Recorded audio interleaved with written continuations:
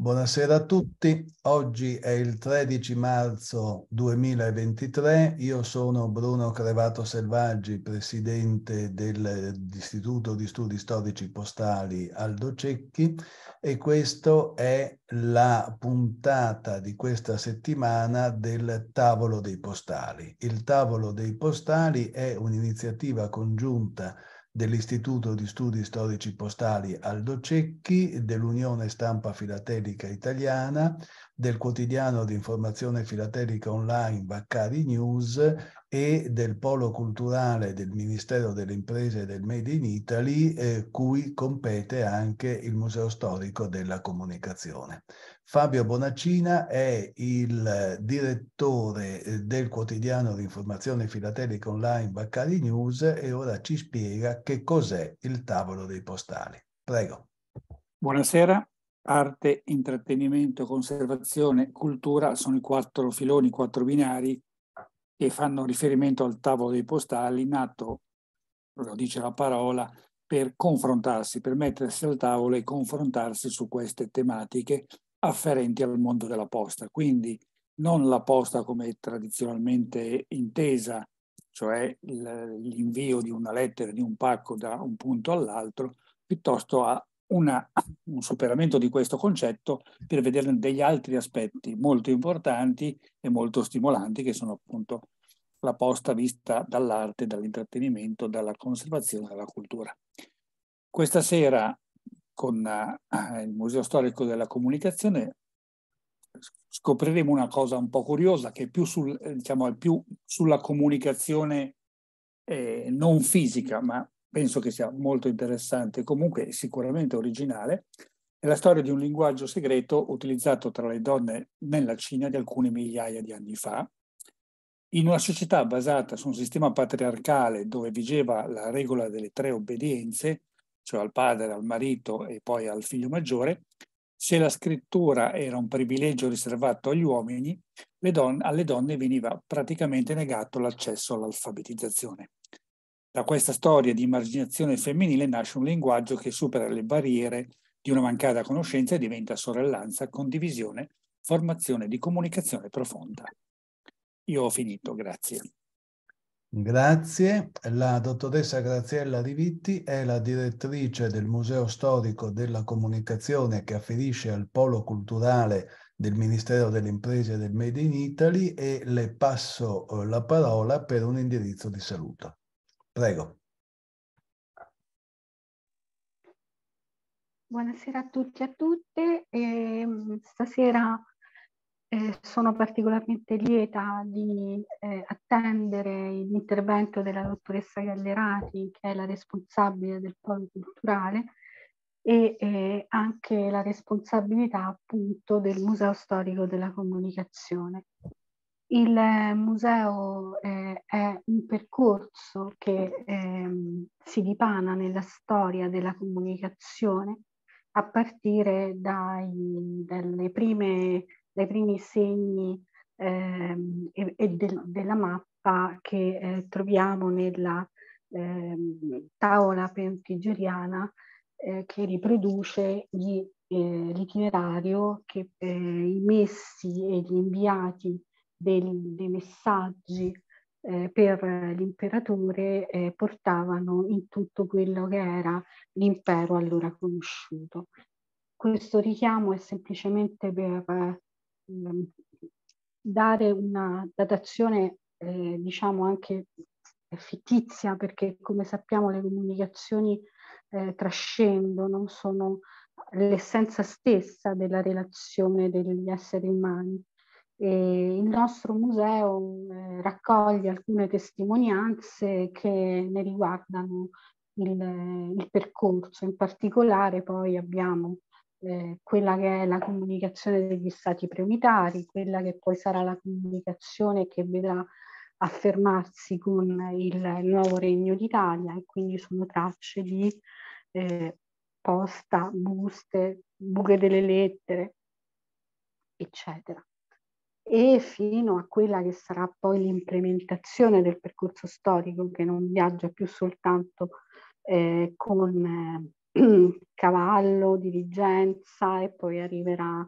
eh, il treno, arriverà l'aereo, arriverà la nave, e, fino a, a, quelle che sono le comunicazioni virtuali che eh, anche se partono da quello che può essere un messaggio semplicemente di un ticchettio del telegrafo, poi arriveranno a quelle che sono le grandi scoperte di Meucci e di Marconi sulle vie del filo del telefono e sulle eh, onde, appunto, qualcosa che neanche è più dato di vedere, che sono la radio, fino a quella che poi è la comunicazione virtuale delle immagini con la televisione.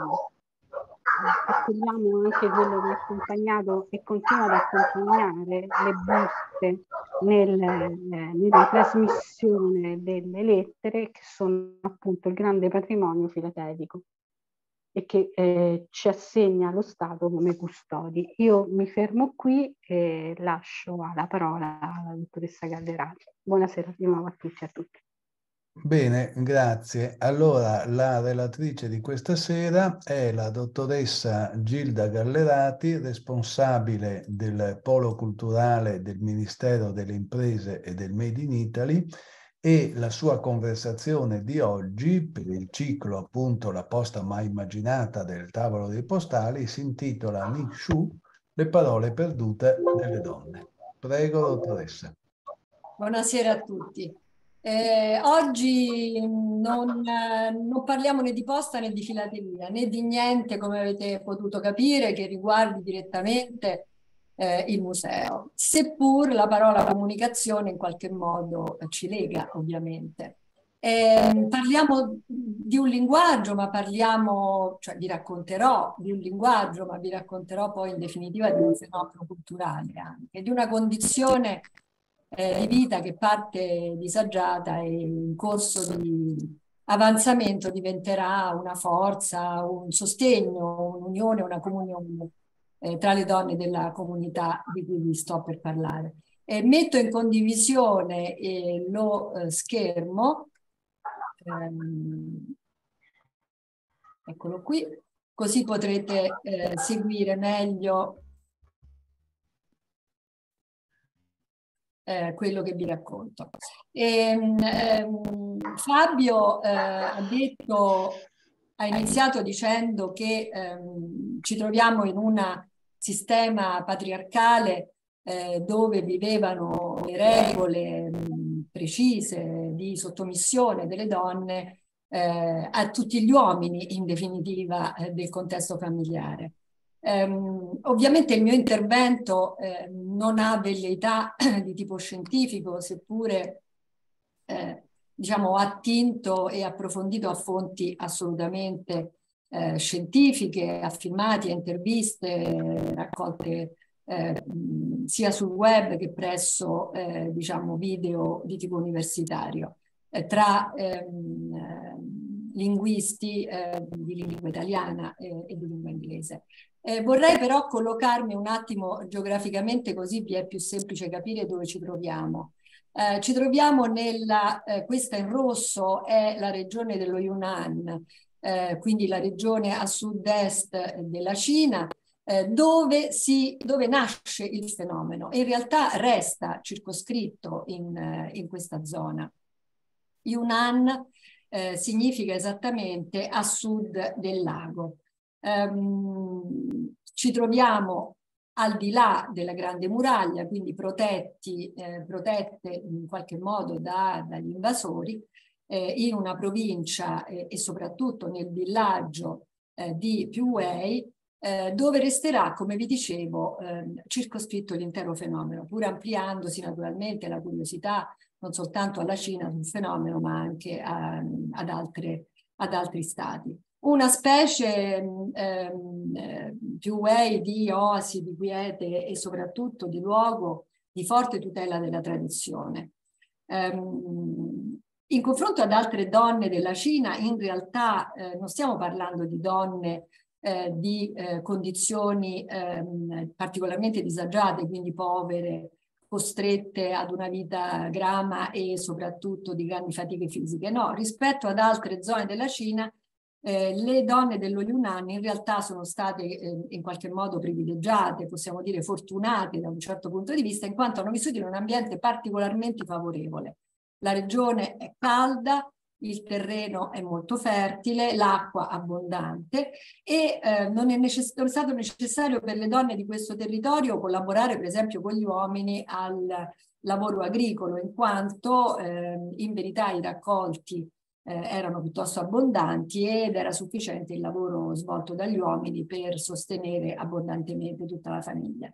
Eh, quindi eh, le donne si dedicavano pressoché ehm, alla cura della famiglia, soprattutto potremmo dire anche a delle espressioni d'arte, quindi alla tessitura, alla filatura, al cucito, al ricamo.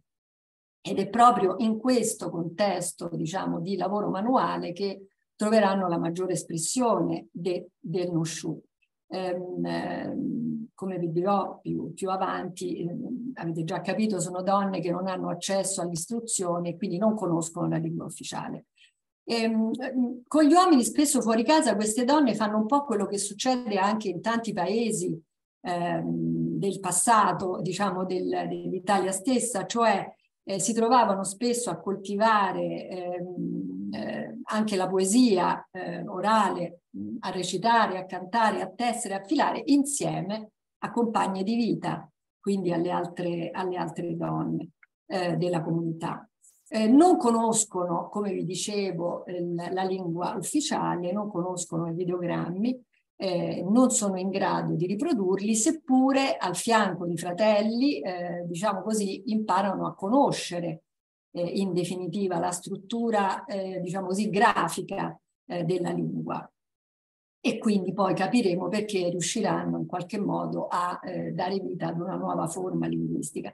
In questo territorio che vi dicevo, quindi nel, nel villaggio di Piuè, eh, intorno agli anni 90 un giovane linguista di nome Gong intraprese eh, un viaggio per condurre delle ricerche su dei gruppi etnici della zona. Quindi fino agli anni 90 assolutamente non, non si sapeva nulla di questo eh, linguaggio cosiddetto segreto. Lui stesso racconta che appena arriva eh, nel villaggio di Piuei un funzionario del Partito Comunista gli racconta che sua zia originaria della, della contea eh, del, dello Yunnan, comunicava con le altre amiche, eh, con le altre donne, in una lingua per lo più eh, scritta, più che orale, chiamata appunto Nushu, che letteralmente significa lingua delle donne, e che sembrava appunto essere una lingua inventata dalle donne per le donne, praticamente sconosciuta fino a quel momento, la cui cronologia di avvio ehm, era difficile da collocare, da, da, da stabilire ehm, eh, da una indagine approfondita poi apparve fin da subito che la scrittura davvero era completamente diversa eh, dal cinese di, di, uso comune e quindi praticamente difficile da tradurre.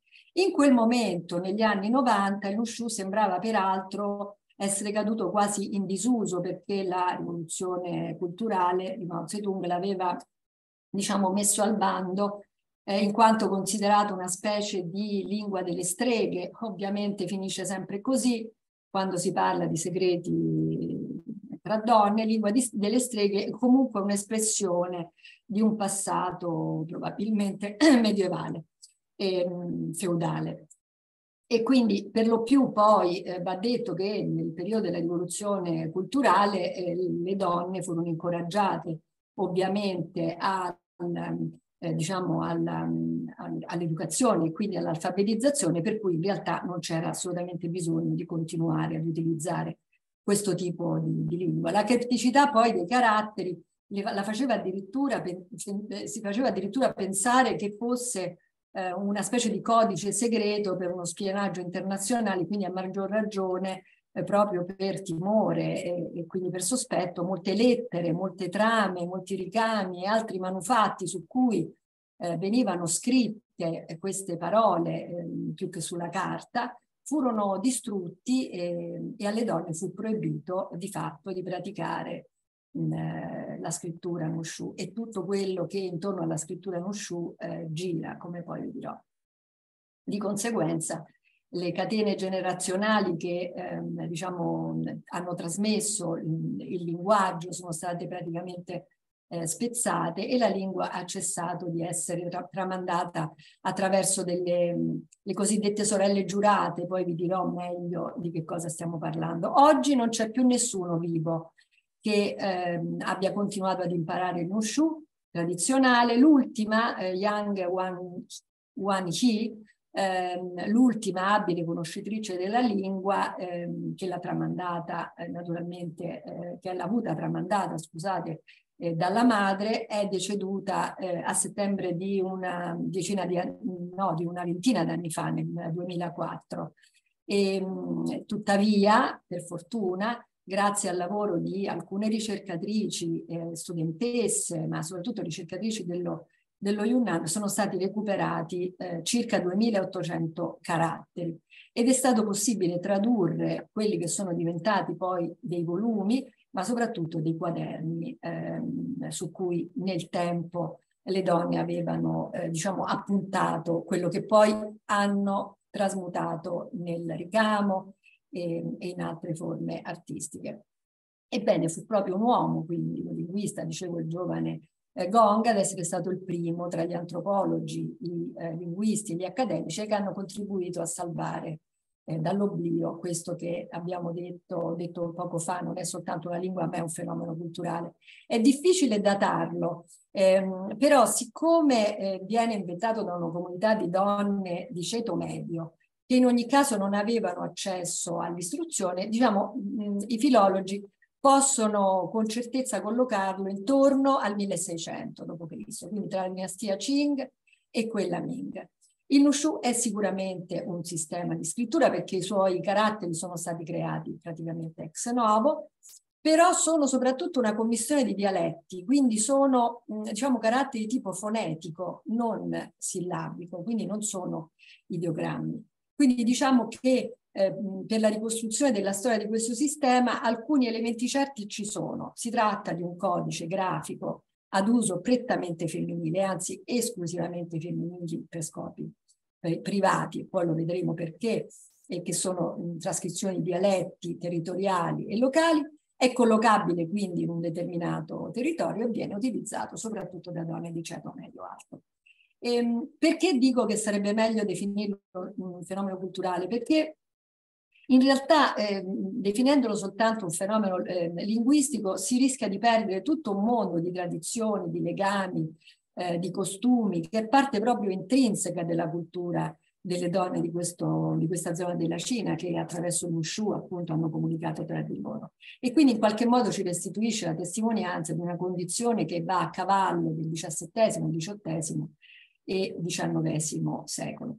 Ehm, io direi che è bene ricordare una cosa, che fin da piccole anche le donne di ceto medio-alto erano private dei pieni diritti eh, di cittadinanza e dovevano conformarsi ad alcuni dettami sociali che erano precisi, specifici. Primo, dovevano adeguarsi a canoni estetici, eh, si sottoponevano, come vedete dall'immagine, alla pratica della fasciatura dei piedi, che erano ridotti ad una lunghezza di circa 7, 10, in alcuni casi 12 centimetri, per ottenere quell'andatura oscillante, diciamo così, che, eh, che in qualche modo le conformava ai canoni estetici dell'epoca. Nelle varie tappe della loro vita, come abbiamo detto, dovevano obbedire al padre come figlie, al marito come moglie, ai figli come madri, quindi le famose tre obbedienze, e secondo i precetti confuciani eh, erano obbligati ad essere caste, arrendevoli, pacate e virtuose, questa la devo leggere perché è difficile ricordarle, pacate e virtuose negli atti, tranquille e piacevoli nelle parole, fini e misurate nei movimenti, perfette nei lavori manuali e nel ricamo. E queste erano le quattro virtù a cui dovevano attenersi. Intorno ai 15 anni più o meno le ragazze erano considerate mature per sposarsi e quindi ovviamente dai 15 anni, e questo significava dover rinunciare alla giovinezza, lasciare il villaggio di provenienza, trasferirsi nel villaggio del marito, che spesso era eh, spesso, talvolta era uno sconosciuto eh, scelto di comune accordo tra le, tra le famiglie. Con l'inizio della vita coniugale, naturalmente, le giovani si dedicavano ad attività come ricamo, e, e, insomma, tutto ciò che inderogabilmente eh, assegnava loro il sistema patriarcale. La morte del marito poi tra l'altro non è che offrisse loro alcun tipo di eh, scappatoia, perché spesso la vedova con la morte del marito si dava la morte essa stessa per raggiungerlo eh, nell'aldilà. Era una pratica sociale, diciamo, molto, tra l'altro, ben vista per un lungo periodo, addirittura sembrava che desse lustro e riconoscimento alla famiglia di provenienza della, della, della suicida, una pratica così diffusa che la dinastia King ehm, dovette introdurre il divieto di suicidio e addirittura il reato di ehm, istigazione al suicidio, tanti erano i casi. Va detto comunque che eh, le donne che non si davano la morte talvolta, istigate ovviamente, finivano per sfregiarsi il viso per risultare meno attraenti e restare in qualche modo eh, fedeli al marito defunto. Ora, per sopravvivere a questa condizione, che insomma, è chiaro, mh, eh, diciamo era piuttosto mh, pesante, la tradizione offriva un sostegno alle, alle ragazze. Eh, e qual era? Era quello eh, di avere la presenza di una o più donne che fungevano da, diciamo, da sostegno, da conforto, eh, fin dall'infanzia, ecco, erano stabilite queste compagne. Per esempio, dopo la fasciatura dei piedi, alle bambine eh, venivano, veniva assegnata una laotong, eh, una specie di sorella con cui stabilire delle affinità eh, spirituali ed emotive. La, la, la laotong veniva eh, affidata loro dalle mediatrici, che erano donne di mezza età, eh, che avevano il compito di trovare una compagna che fosse nata lo stesso giorno, lo stesso mese, lo stesso anno e che fosse degna di, eh, diciamo, di essere la compagna di una vita. A questo punto una delle due ragazze, le due bambine anzi, eh, scriveva una proposta di unione su un ventaglio, e, ehm, che sono tra gli oggetti naturalmente più utilizzati nel mondo dell'usciù, la proposta veniva accettata o non accettata dall'altra compagna. E, ehm, dal momento in cui veniva effettuato questo rito di unione, allora il legame durava tutta la vita ed era destinato ad offrire naturalmente un conforto nei momenti più difficili. Um, la Lautong era unica, um, era insostituibile, era proprio davvero un supporto um, determinante. E c'erano poi anche altri tipi di legame, c'era per esempio quello delle sorelle giurate, che, che stabiliva un, un, un, vincolo che spesso assomigliava a quello tra l'insegnante e, e, e la studentessa, eh, non necessariamente con donne che fossero nate lo stesso giorno, lo stesso anno, come dicevamo, ma era eh, diciamo il modo con cui si poteva tramandare la lingua alle figlie e, e alle nipoti. Poi c'era quello dell'ospite di passaggio, era un rapporto con una ragazza di un altro villaggio che iniziava soltanto se si scioglieva quello precedente con la sorella giurata.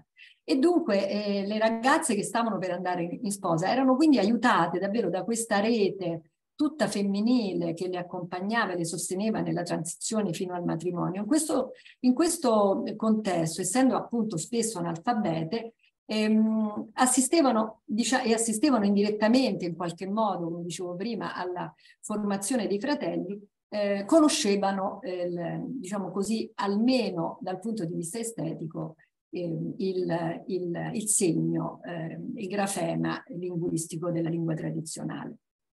Ma, come vi dicevo, componevano una, una scrittura che era fatta di caratteri che sembrava all'inizio ammontassero a circa 10.000 eh, quelli del Mushu. Ehm, successivamente sono stati considerevolmente ridotti perché in realtà eh, diciamo, alcuni, alcuni, casi erano dei, dei, diciamo, dei doppioni in qualche modo. Il Nushu è scritto in forme curvilinee, molto diverso, eccola qua, eccolo, questo è un esempio di lingua Nushu. Eh, molto diverso dalla lingua ufficiale che invece aveva caratteri molto più tozzi. Il Nushu è scritto in forme curvilinee, spesso veniva ricamato eh, come fossero dei, dei disegni e forse proprio il legame con il ricamo ehm, eh, diciamo così, servì alle donne per non far comprendere agli uomini che si trattava di una lingua, perché veniva scambiato per un semplice, per un semplice ricamo. Ora, il Nushu ha molte distinzioni ortografiche rispetto alla, alla, scrittura tradizionale. Per esempio, mentre il cinese ha tratti grandi, come vi dicevo, audaci, che sembrano un po' essere stati modellati con un pennarello permanente, il Nushu, come vedete, ha dei caratteri sottili inclinati, ehm, ehm, un aspetto quasi graffiato ehm, che per lo più, diciamo così, assomiglia ehm, quasi alla calligrafia, ecco. Mentre il cinese tradizionale quindi è logografico, cioè i caratteri resta, diciamo, rappresentano parole e significati, il invece è, è fonetico, completamente fonetico, quindi ogni carattere rappresenta un suono e il significato si evince dal contesto. E, ehm, chi si serviva di questo linguaggio naturalmente aveva stabilito dei codici ehm, significativi specifici per varie parole, per, per varie parole e varie frasi, ma eh, è probabile che, ehm, probabilmente, insomma, molti lo ritengono in questo senso, verremo a conoscenza soltanto di una minima parte di tutti i significati. Molti segreti in Ushu rimarranno segreti per sempre. Ora torniamo un attimo al momento in cui le ragazze erano vicine al matrimonio. Nei tre giorni precedenti alla cerimonia, nella sala dei canti, eh, la sala dei canti seduti, si recitavano i cosiddetti canti della sofferenza, che erano composti da, da quattro fasi. Eh, l'ultima con la partecipazione proprio di tutti i parenti. Le amiche nubili trascorrevano questa ultima giornata, diciamo, con la sposa, e, e, anche la notte chiacchierando. Per la verità, io insomma, se ricordo il mio matrimonio, non è stato molto diverso. Io ho avuto una compagna ehm, di vita, tra l'altro, una compagna che mi ha seguito dagli studi, nelle, dalle scuole medie eh, fino al liceo, la mia amica del cuore, insomma, che è stata anche la testimone di nozze. Ebbene, lei è stata con me il giorno prima del mio matrimonio, abbiamo trascorso la notte insieme a raccontare, a parlare, abbiamo fatto notte tardi e tutto il giorno eh, fino al pomeriggio in cui io mi sono sposata, lei è, sta, è stata al mio fianco, abbiamo riso, pianto, insomma, alla fine eh, ci sono situazioni molto analoghe anche nel mondo occidentale. Dicevo quindi che le amiche nubili trascorrevano appunto un, tempo immediatamente precedente al matrimonio poi la madrina, che quasi sempre era la madre della sposa, dava inizio a questi canti seduta sul terzo gradino della scalinata che portava alla stanza riservata alle donne. Ed era, c'è questo numero tre che insomma ritorna, ed era accompagnata nei suoi lamenti anche dalle amiche della figlia. La sposa eh, era vestita di rosso, eh, si chiamava la sposa rossa, scendeva le scale vestita di rosso eh, e dava in questo modo diciamo, il passaggio, segnava il passaggio dalla vita infantile a, questa, a quella adulta. Tre giorni dopo il matrimonio, poi la sposa riceveva il regalo più importante, questo libretto che vedete, il più importante regalo in lingua Nushu ed era il libro del terzo giorno. Il libro era composto, come vi dicevo, soprattutto di ricami. Le amiche e i familiari compilavano le prime tre pagine lasciavano tutte le altre in bianco, come una specie di diario su cui la sposa poteva scrivere poi successivamente per tutta la sua vita i suoi pensieri, gli accadimenti futuri, diciamo. Ora, se da una parte si, si trattava di un libro, di una specie di, di, libro del cuore, insomma, era però anche un, uno strumento per esprimere le paure, le ansie, la disperazione, ma anche una specie di vademecum che collegava le famiglie dei due sposi e in qualche modo eh, diciamo, offriva anche alle mogli, alle neomogli, eh, dei consigli pratici. Eh, la famiglia di origine sfruttava un po' questi, questi libri del terzo giorno anche per introdursi in qualche modo in quella di arrivo e lasciava quindi su, questi, su queste pagine eh, messaggi un po' anche di compassione per la figlia, ma anche le spingeva a capire come comportarsi. Vi leggerò un una brevissima quartina eh, con la quale eh, si davano disposizioni sul Galateo alle figlie. Si diceva sii gentile con tutti, non parlare mai ad alta voce, non ribattere a ciò che ti viene detto, non mostrarti testarda, ammetti sempre i tuoi errori, parla solo quando ti viene chiesto qualcosa, non intervenire quando non è necessario. Beh, insomma, come dire, è sì un viatico, è un'indicazione, eh, sono regole precise, che insomma sono parole granitiche anche.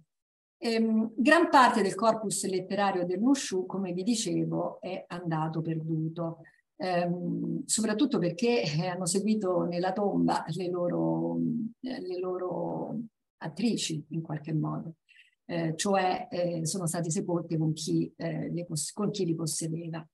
Ehm, nel 2012 il sinologo Idema parlava di 500 testi rimasti. Questo perché appunto dicevo una volta sepolta la donna eh, aveva con sé anche ventagli, cinture, eh, libri del terzo giorno e tutto ciò che poteva servirle per goderne anche nella vita ultraterrena.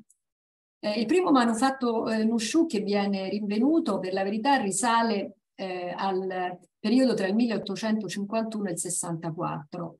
Ehm, viene, ehm, diciamo, è un eh, introduceva, è un periodo questo in cui venivano, sono state introdotti eh, importanti riforme sociali e anche mh, politiche, ehm, diciamo, a favore dell'uguaglianza di genere. Era una moneta di bronzo dove si può leggere tutte le donne del mondo appartengono alla stessa famiglia. Ehm, ebbene, nonostante ci siano alcune divergenze tra gli studiosi, diciamo, sul corpus linguistico del Nushu, alcune cose sono, eh, restano, diciamo, certe. I brani non avevano titoli, non si usava la punteggiatura, lo, diciamo, lo spazio eh, era, cioè i, i, le pause erano stabilite da spazi ed era soprattutto mh, diciamo, riconosciuto nei canti, che erano composti da 5 a 7 sillabe e, e, andavano dai 20 ai 500 caratteri circa, per lo più ripetuti, ecco, con formule ricorrenti. Di conseguenza un unico, diciamo così, eh, simbolo Mushu poteva riferirsi a tante parole, ecco perché vi dicevo dalle 10.000 poi si scende di numero, a tante parole dal suono simile e il significato veniva eh, diciamo stabilito dal contesto della frase. Ehm, nel 2003 è stato pubblicato il primo dizionario Mushu che ne elenca circa 1800 di caratteri, poi è stato stabilito che la cifra esatta addirittura si attesta solo su 396 proprio per via delle ripetizioni, delle trascri trascrizioni.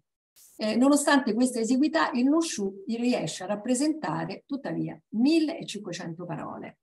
Eh, vi dicevo che le donne ereditano eh, la scrittura di generazione in generazione e si poteva imparare, come vi dicevo, da una mamma, da una sorella maggiore, da una cugina e comunque dal contesto familiare. Oggi si può leggere gran parte del materiale che è rimasto in un'antologia di ben cinque volumi che è stata curata da alcune studentesse, eh, volumi che contengono soprattutto preghiere, lamentazioni personali, lettere tra sorelle giurate e traduzioni di alcune opere della letteratura cinese, addirittura in Nushu.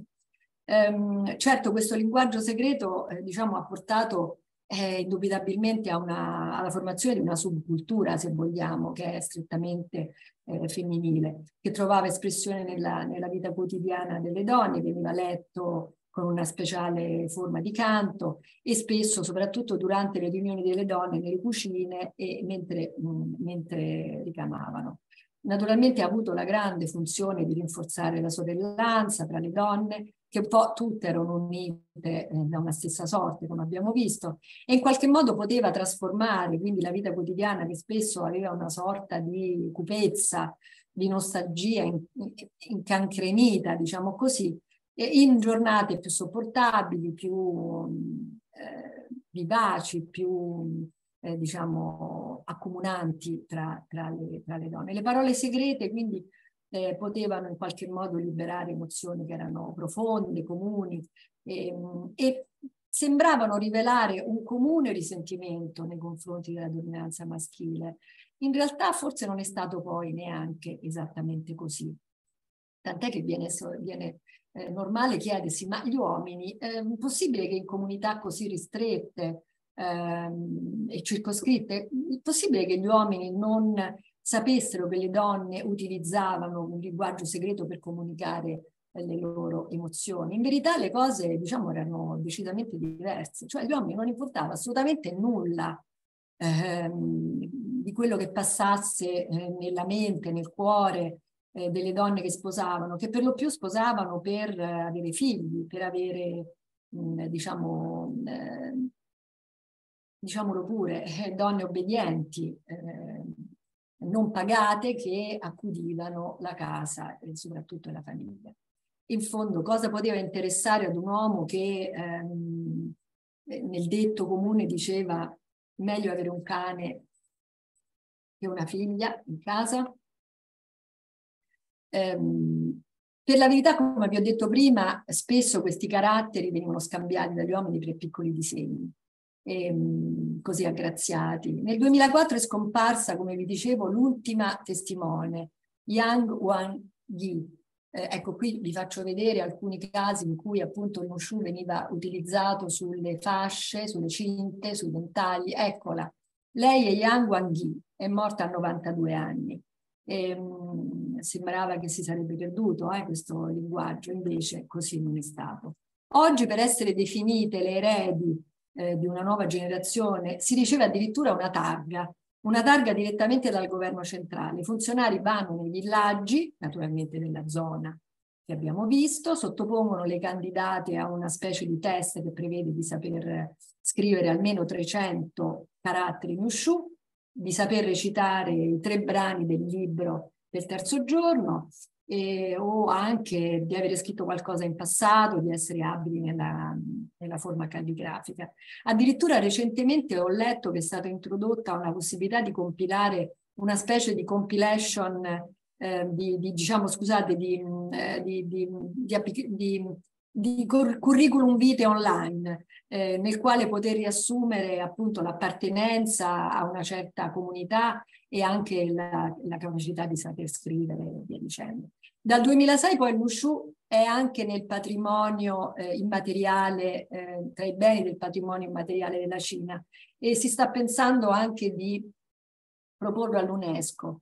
Eh, però ovviamente un paese così basso che ha altre priorità e anche la mancanza di documentazione, soprattutto di registri eh, storici ufficiali, affidabili, che quindi rendono eh, chiaramente molto difficile il percorso di, eh, di registrazione. Nel frattempo però eh, io ho potuto constatare ehm, anche con la professoressa Faccini con cui ho avuto un confronto che la scrittura ha varcato i confini nazionali.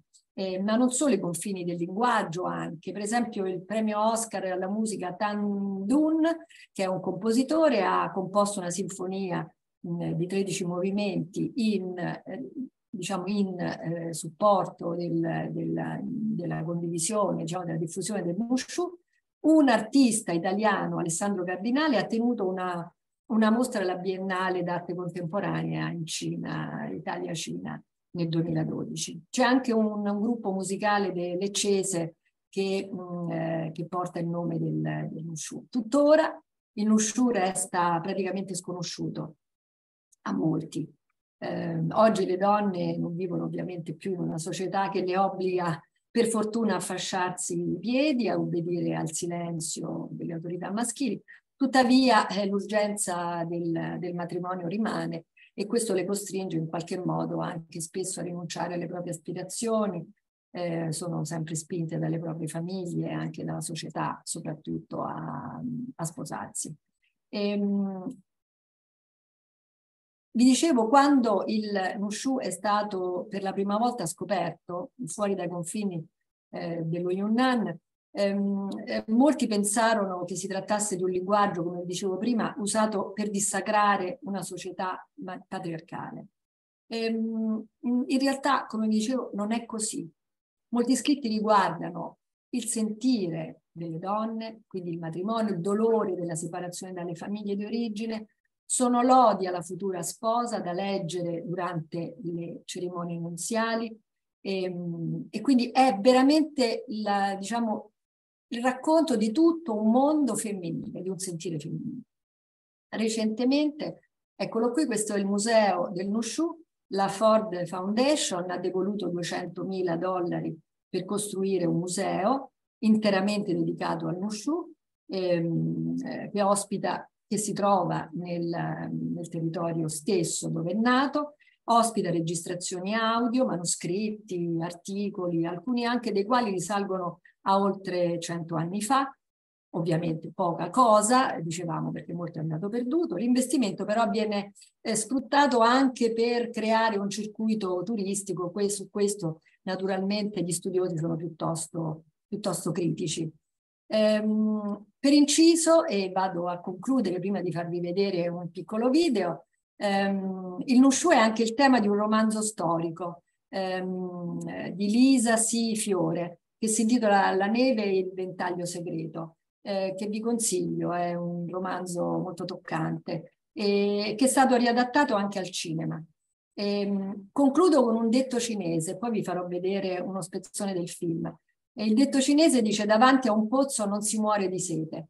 Quando si è con le sorelle non c'è posto per la disperazione. E infatti, appunto, come vi dicevo, in un tempo non troppo lontano in cui le donne si sposavano contro la propria volontà, venivano allevate con i piedi eh, fasciati per essere più graziose, quindi l'amicizia tra le donne eh, era sta, è stato il bene più prezioso.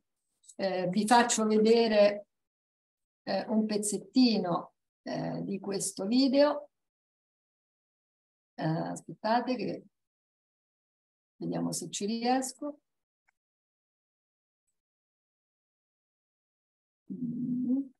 Ecco qui. Spero possiate sentirlo bene. E il mondo cambia continuamente. Dobbiamo guardare al passato per scoprire ciò che non cambia. E la storia della nostra famiglia. Stiamo parlando di molte, molte, molte generazioni fa. Si chiamava Fiori Neve e aveva un forte legame con Giulio Bianco. Furono sorelle giurate per tutta la vita. Potevano solo scriversi. Non avevano altra voce che quella.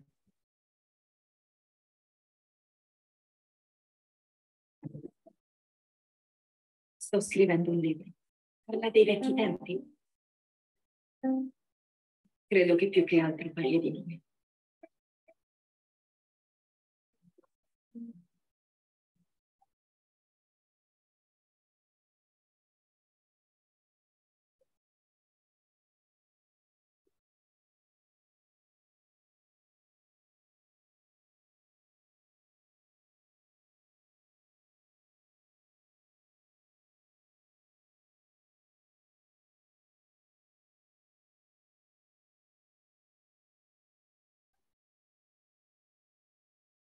Nostri destini sono legati in eterno. Sempre insieme. Sorelle per diecimila anni.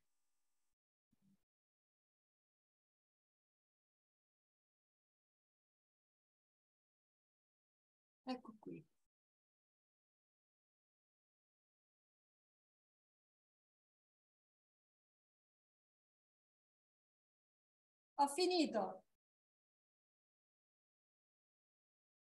Bene, molte grazie. Naturalmente Il... se ci sono domande, commenti, vi piacerebbe insomma anche... Certo.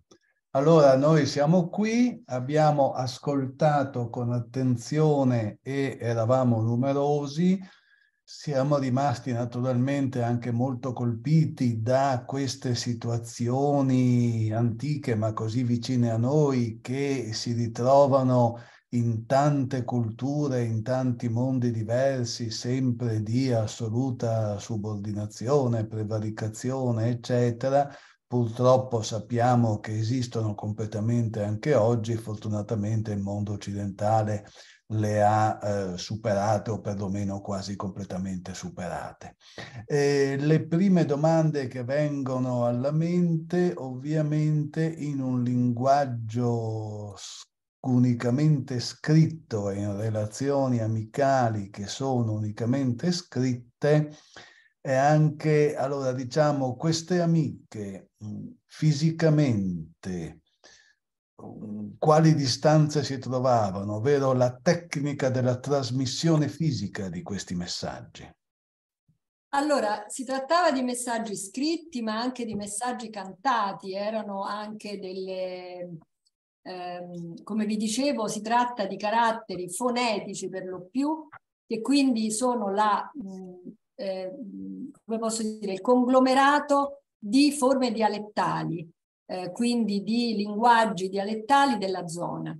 E la trasmissione avveniva tramite la consegna di, eh, e lo scambio quindi di oggetti che potevano essere eh, cinte, ventagli, eh, tessuti eh, ricamati ma anche ehm, cantati.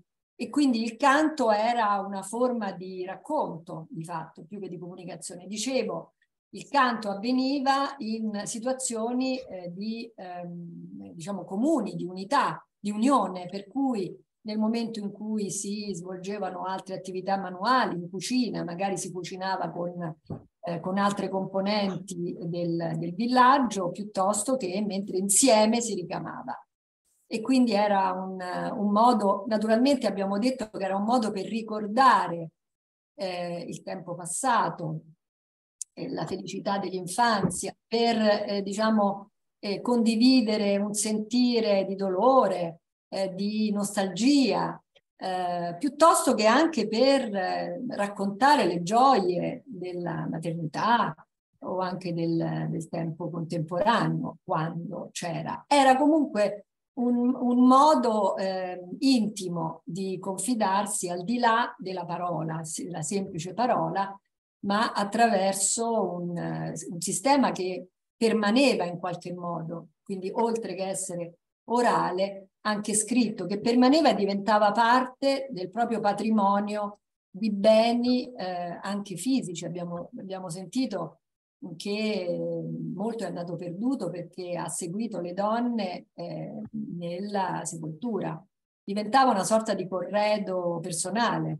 Il libro del terzo giorno, appunto, che era quello sul quale le, le amiche, la, la, madre, la suocera appuntavano consigli, eh, regole nei, nelle prime tre pagine, poi diventava un patrimonio personale. Sul resto delle pagine erano eh, non soltanto in, eh, in, carta, ma spesso era anche in tessuto, erano libri fatti di, di stoffa e quindi potevano ricamare erano donne che non accedevano alla, alla, alla, formazione, quindi erano analfabete, per cui quale altro modo avrebbero potuto utilizzare se non inventarsi una lingua eh, che consentisse loro di, di scrivere in un altro modo? Quindi riportare per iscritto qualcosa che era fonetico, insomma, è una cosa magnifica. Ecco. Certamente. Molto commovente, devo dire. Eh? Certamente. Abbiamo Ora non vi ho fatto sentire, non vi ho, scusami se ti interrompo, non vi ho fatto sentire, ma lo, li potete trovare sul web non vi ho fatto sentire delle, vedere e sentire dei video in cui ci sono alcune eh, di queste donne che cantano queste, queste nene. È molto bella la sinfonia che vi dicevo ehm, di Tandu, ehm, che è stata anche pluripremiata. Certo, il, il, è, è, è, musica tipica orientale, ma insomma eh, sono molto commoventi. Certo. C'è una domanda da parte di Raffaella Gerola. Prego.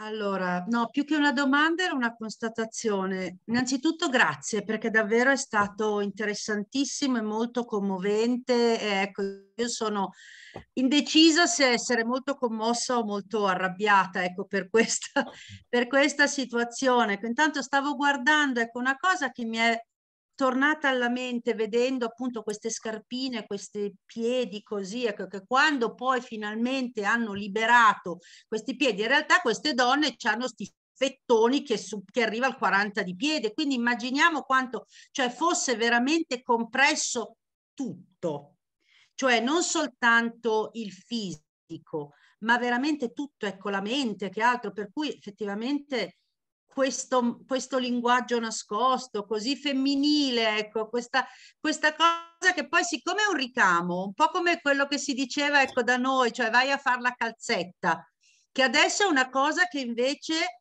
è tornata, cioè si è scoperto che questo lavoro così manuale in realtà serve molto come una meditazione. Infatti, guarda oh. caso, adesso gli uomini l'hanno scoperta e quindi a lei tutti che lavorano a maglia e all'uncinetto. Ecco.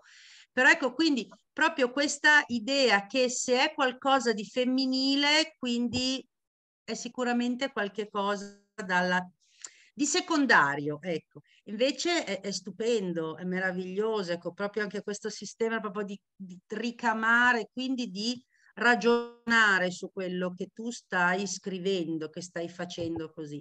Quindi certo. davvero grazie, grazie, grazie. Ah, grazie, grazie, sono contenta che che sia arrivato, insomma io mi sono anche, va bene, sono molto curiosa, quindi eh, insomma eh, sono sempre aperta a nuove cose. Sono, mi sono imbattuta un po' per caso ehm, nel Nushu e in verità seguendo appunto un'intervista alla, ad una giovane studentessa, mh, si chiama Falcini, che ha scritto un libro eh, recentemente proprio sul Nushu e mi sono appassionata e devo dire davvero anch'io sono rimasta stupefatta soprattutto della eh, capacità di queste donne di fare di una debolezza una, una forza in qualche modo, un'ancora di salvezza, eh, qualcosa che travalicasse anche eh, il, um, il, quotidiano eh, ed entrasse dentro al pantheon sia dell'arte eh, che della, mm, diciamo del trascendente. Ecco, l'idea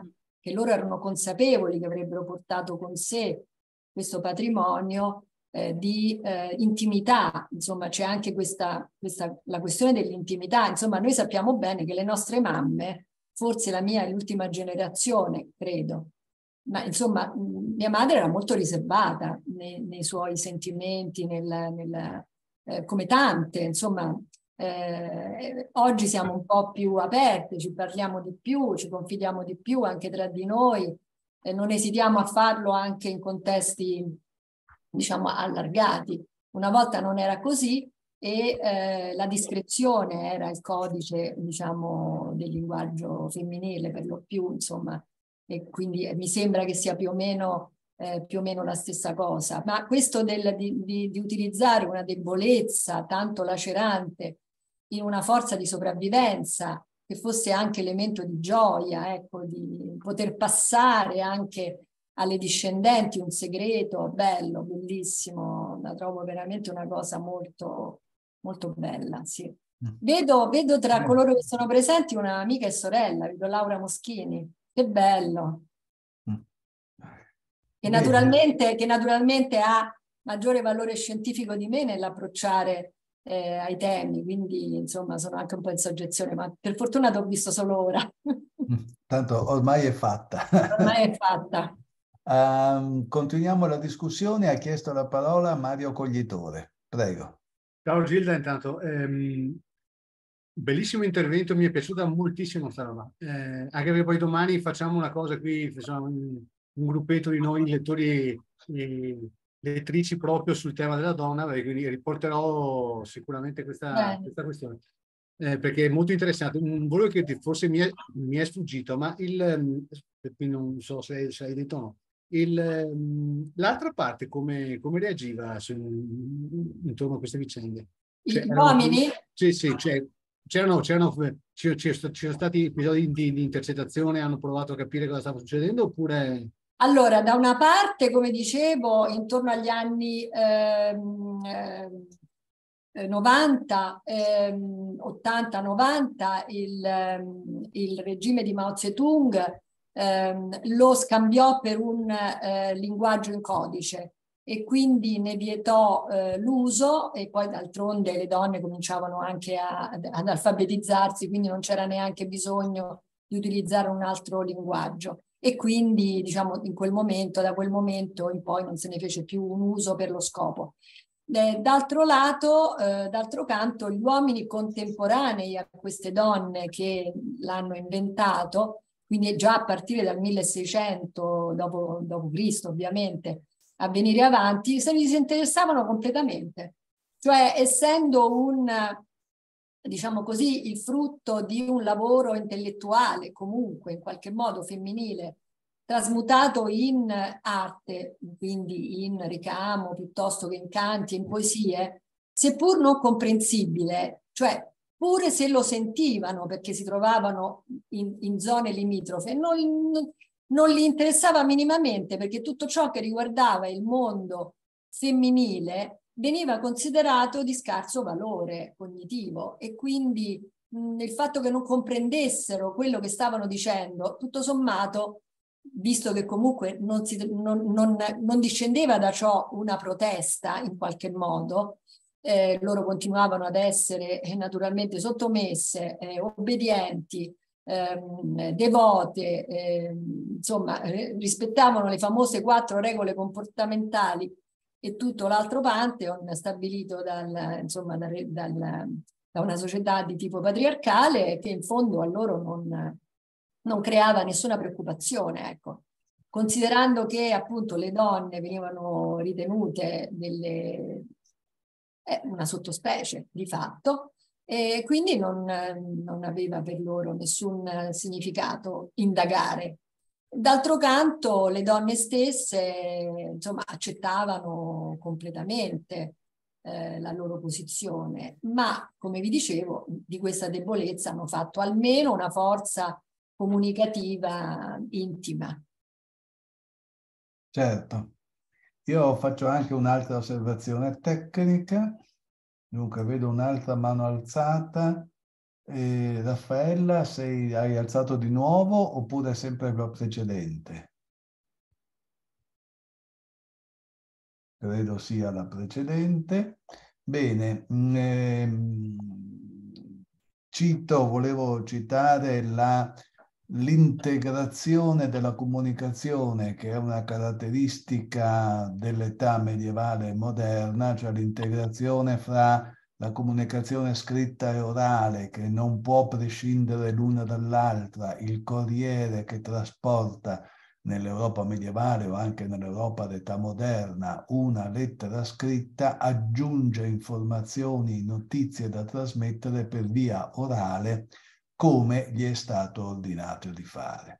Anche qui siamo in una situazione simile perché abbiamo sentito dell'integrazione fra la comunicazione scritta e quella orale attraverso il canto.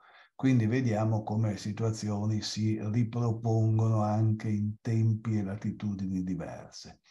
Vi sono altre considerazioni o domande?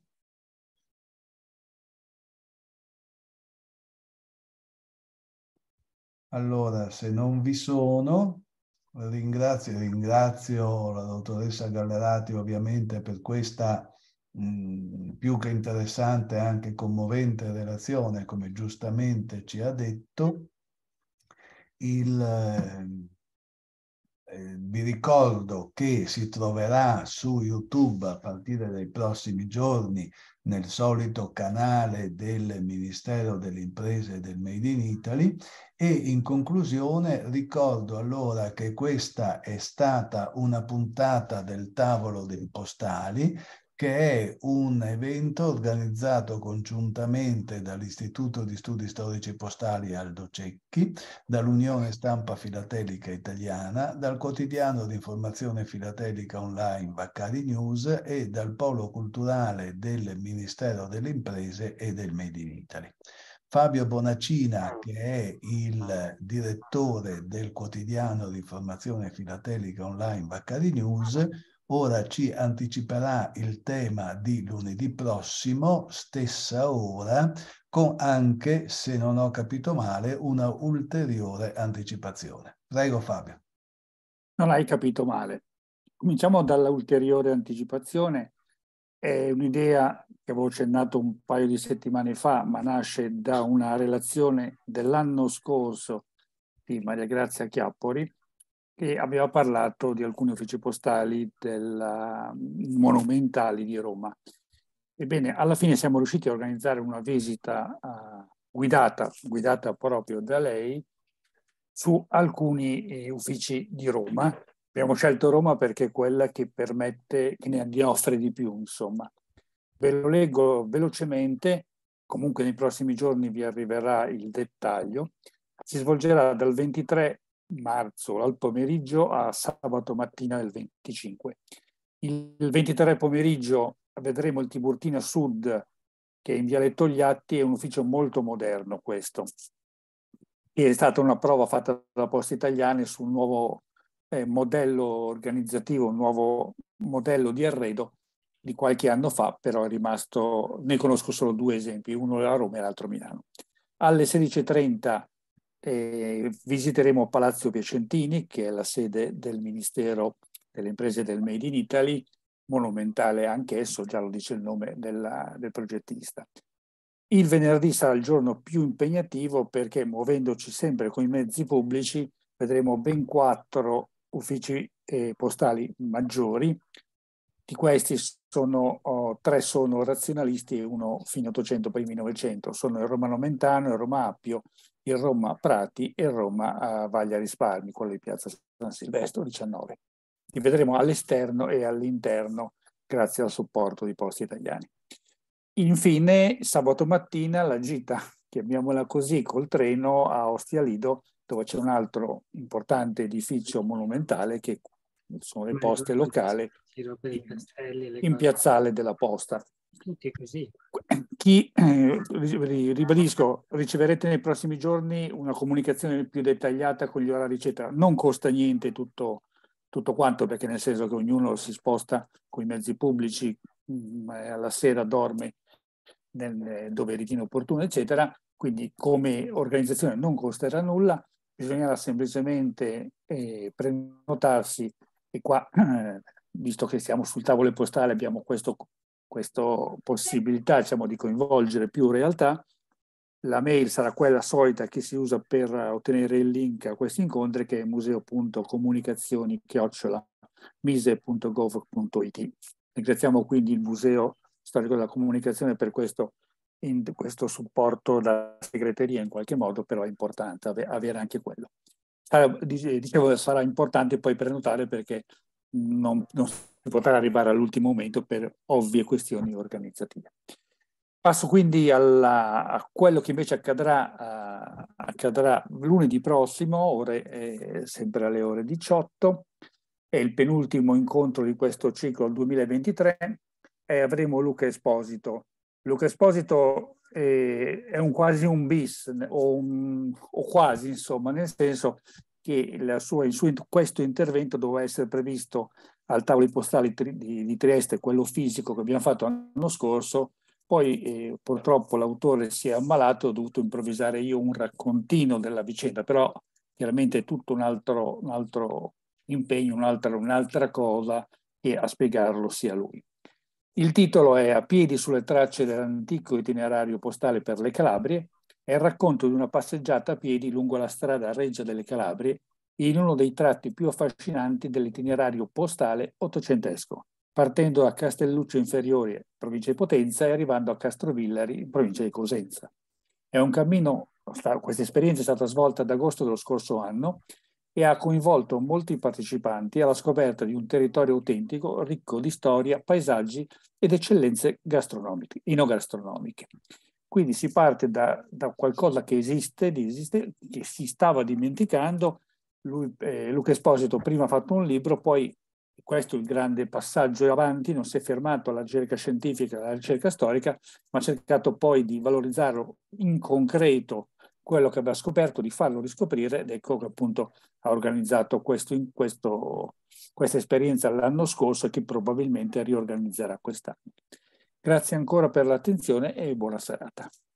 Allora Fabio, visto che eh, quello della settimana prossima sarà il penultimo appuntamento per questa edizione virtuale del tavolo dei postali, ci puoi ricordare anche quale sarà fra 15 giorni l'ultimo appuntamento? Allora, l'ultimo sarà con Enrico Bertazzoli. Il titolo è L'estetica nascosta delle buste postali. L'esame scarsamente praticato, forse l'ha fatto solo lui o pochissimi altri, del lato interno di insignificanti, normali buste di corrispondenza del passato, però può far scoprire aspetti estetici e curiosità davvero impensabili. Occorrono pazienza e attenzione per liberare dalla colla i quattro lembi che uniscono tra, lo, tra loro il, la, la, busta e la, la chiudono, riportarlo allo stato anticonfezionamento, cioè aperta, e le sorprese sono garantite. E vi garantisco che sarà che sono perché eh, chi ha avuto Fabio, abbiamo un problema di collegamento. Federico Bertazzoli con Lorenzo Carra in di quanta, quanta No, siamo a posto. Eh, io sento benissimo. Bene, allora, tenendo presente... Stavo dicendo con ultimi- quanta cura, con quanta attenzione veng- vengo, sono state... No, stai parlando tu o sto parlando io? Non ho capito. Prego, Io prego. Mi senti? Sì, prego. Ah, ok. Stavo dicendo, forse siamo starati con, con, eh, con l'audio. Stavo dicendo, il, è interessante, avendo visto questo libro, ed, eh, si rimane allibiti di quanta ricerca c'è stata nel tempo, soprattutto anni 50 e 60 del secolo scorso, ma non solo, sulla questa cura tipografica, grafica e tipografica nel caratterizzare una, una parte della busta che tutto sommato appare sempre in secondo piano. Chiudo il mio intervento, grazie e Buona buona, serata. serata. Bene, allora, grazie e eh, dandovi appuntamento a lunedì prossimo e a lunedì fra 15 giorni per questa edizione virtuale del tavolo dei postali che naturalmente non sarà l'ultima. Eh, ricordo a tutti che la conversazione di oggi sarà riascoltabile a partire dai prossimi giorni sul canale YouTube dedicato. Eh, un cordiale saluto a tutti. Buonasera. Buonasera. Arrivederci. Buonasera a tutti. Buonasera a tutti. Ciao. Buonasera, grazie. Arrivederci a tutti.